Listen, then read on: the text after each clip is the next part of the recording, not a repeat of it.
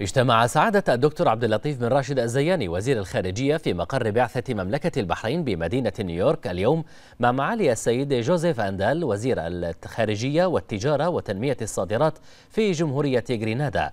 وجرى خلال الاجتماع بحث سبل تنمية العلاقات الثنائية بين البلدين وسبل تعزيزها أيضا في مختلف المجالات الاقتصادية والتجارية والتنموية بالإضافة إلى مناقشة القضايا الراهنة ذات الاهتمام المشترك على الساحتين الإقليمية والدولية.